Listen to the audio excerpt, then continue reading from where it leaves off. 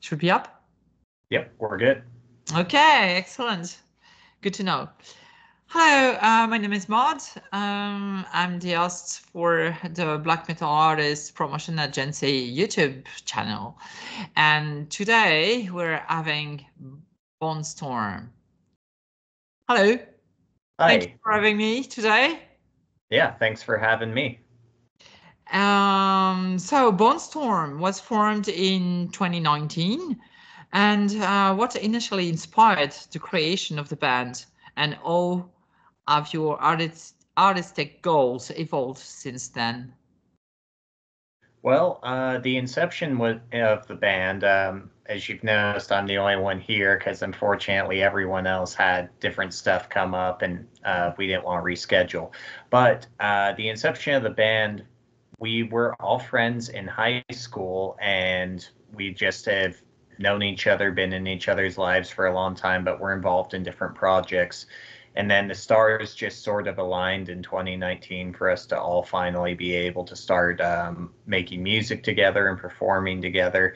So that's uh, been how we came together. And then as far as our um, evolution musically, um, we are all very much self educators.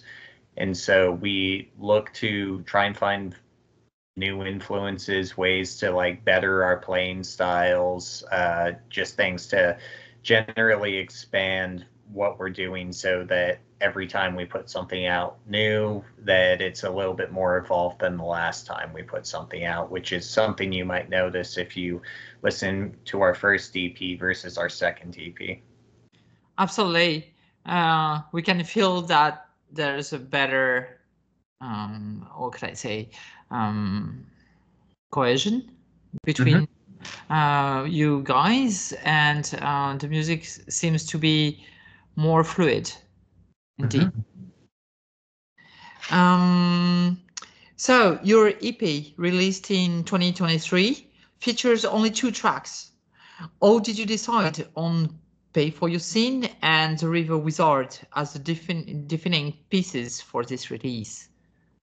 So uh, for that release, we ended up going with those songs because those are the songs that have a really positive reaction live. And I would also say Pay for Your Sins is my favorite song to perform live and well really just in general i'm really proud of that song because it encompasses a lot of what the Bonestorm sound is I believe. And so we led with those ones. They were newer songs, which is why I think you can tell that we weren't necessarily as cohesive on those ones. Mm-hmm. And so with this latest release, there is that higher level of cohesion, perhaps because we've um, had those two other songs a little bit longer. But we just really liked Pay for Your Sins and River Wizard, so we pushed those ones first.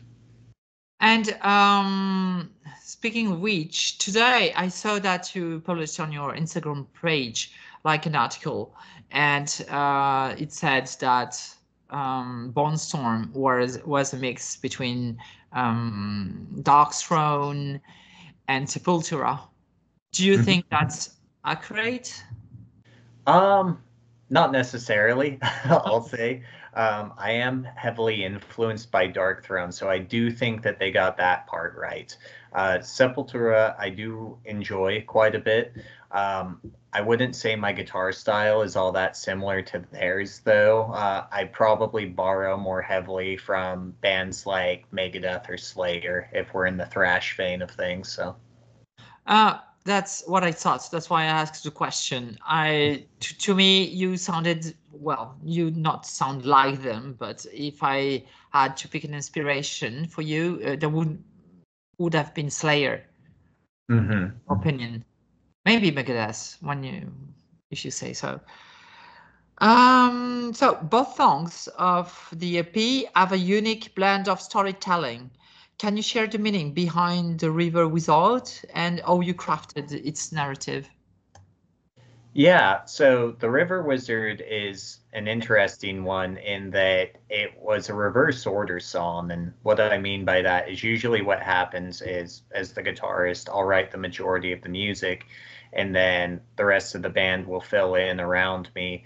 And things like lyrics, for instance, are usually something that come in last. Uh, however, uh, with some of the songs, I wrote the lyrics and then my vocalist tweaked them. Uh, River Wizard, in particular, what happened was he told me he had this idea and told me lyrically about what he wanted to do, what he wanted the story to be. And it's like, I need something that like sounds uh, slow, calm, and creepy. And so that's how I came up with that uh, melody that is the primary one for River Wizard.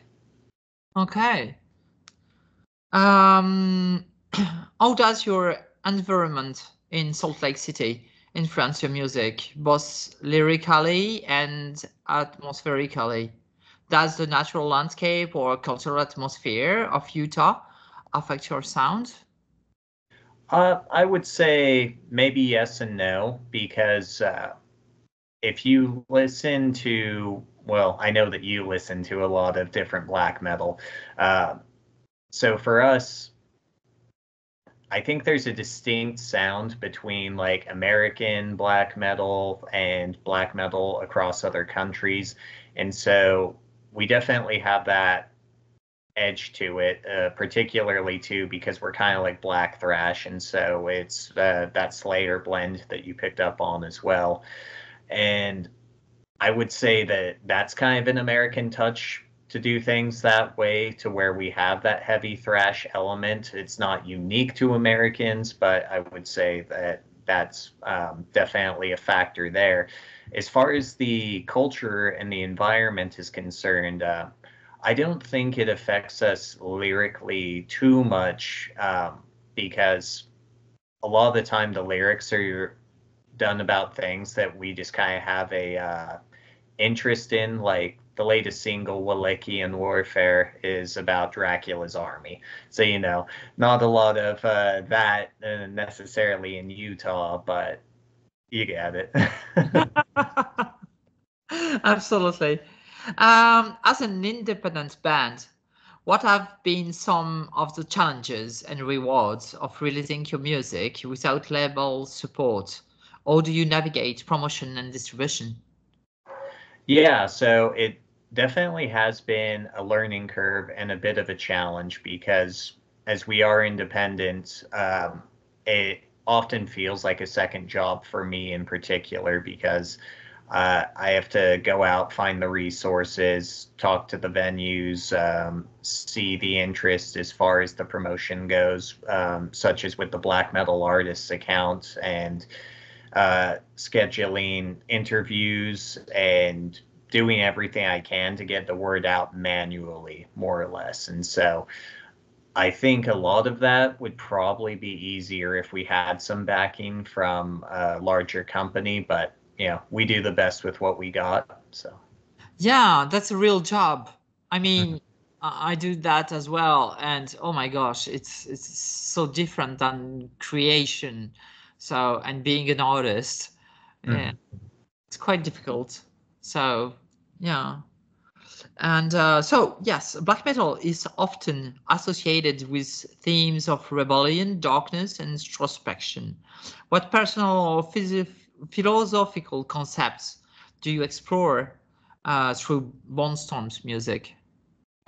Uh, I would say a lot of the music is influenced by my thoughts and my feelings as I write particular parts. And um, particularly when it comes to philosophy, it's something that I delve rather deeply into. Um, I read a lot of um, Nietzsche. I also like uh, studying early psychologists such as Carl Jung.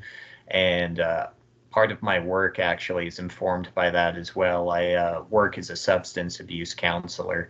And so I get to tie in a lot of my philosophy, a lot of my psychology knowledge when I'm helping out clients, and I'll hear like some pretty rough stories. Oh. And oh. um, part of the way that I process a lot of that is by coming home to write music. And so, uh, you know, if uh, there was a particularly depressing day, then it's really good to just start that artistic process by playing something and seeing what I come up with. That's excellent, and that's very rich. Mm-hmm. Um, so, uh, could you tell us about your songwriting process? how do the ideas of your songs evolve from the initial concept to the final recording? Yeah. So the songwriting process for us is generally I will uh, start the process kind of as I was just describing, where I'll just start playing, I'll see what comes out, and then when I get something that catches my attention where I'm like, oh, you know, that sounds pretty good. I'll try and chain off of that a couple of other riffs until I have like the skeleton of a song, uh, more to speak, or yeah, you know. And so then um, I'll go into our band practice and show it to the rest of the band. And then my drummer will usually suggest like uh, why don't we cut this part down? Or why don't we um, make this part extend? Or maybe you could play it in a three instead of a four or four in a three. You know basically just kind of gives me ideas on how to um, maximize the riff. And then once we've done a fair amount of that and shaped it, that's usually when uh, the vocals will come in and I'll help our vocalist write um, the lyrics. I'll come up with like usually something that I have in mind for but he's done his own stuff for some of the other songs too. And then he takes it, he makes it his own, takes out what he doesn't need, keeps what he likes, and then uh, we go from there. And then usually there's a couple. Uh, other areas of refinement as we're playing it to where we'll notice things and then fine tune it. But after that, usually that's how we get a finished song. Oh, excellent. Mm-hmm. And um, what role does live performance play in your vision of Bonestorm? Uh, how do you translate the raw intensity of your recordings to a live audience?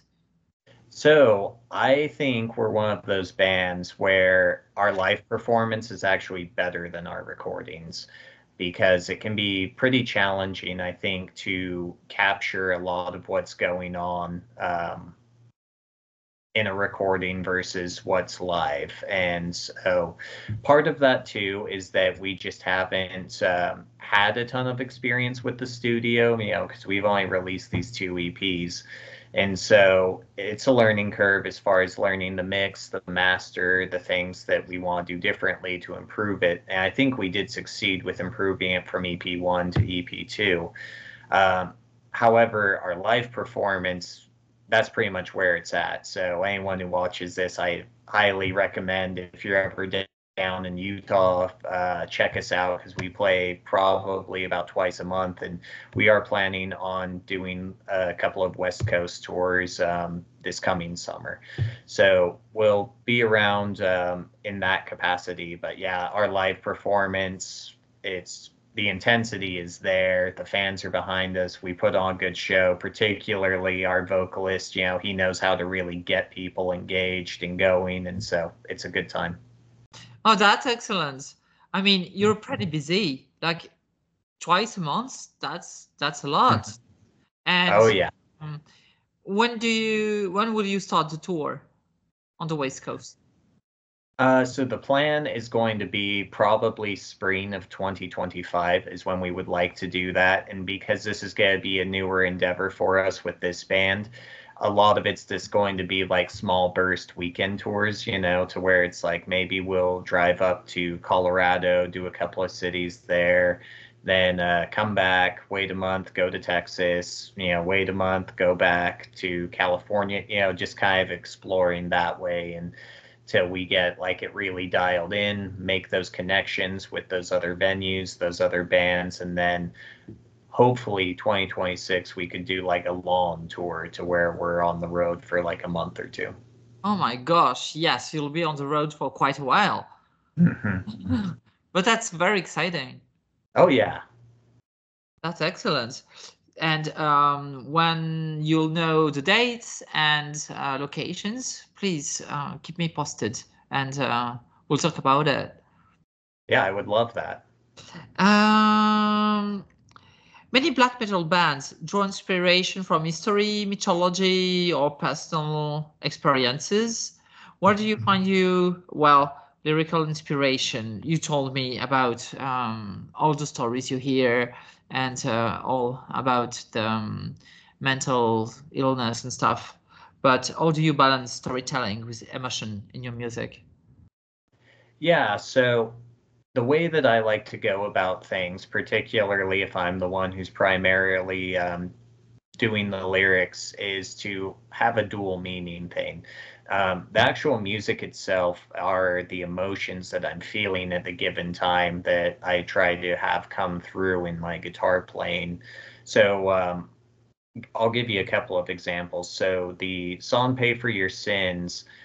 Uh, the guitar parts, I wrote those when I was going through a uh, particularly uh, painful breakup where um, the person I was with, I had found out was actually cheating on me. And so, you know, not a great feeling, but it translated to some very beautiful music to where now it's my favorite song to play. And lyrically, it went in another direction to where, you know, it's like my vocalist is a really big Star Wars fan, and so he told me it's uh, like a blend between like Satanism and Sith Lords lyrically, as far as that goes. So that one's kind of an interesting one in that it just combined a lot of our interests together. Um, the song Dominion, which is uh, on the brand new EP, that was actually the first song that I wrote for Bonestorm, interestingly enough.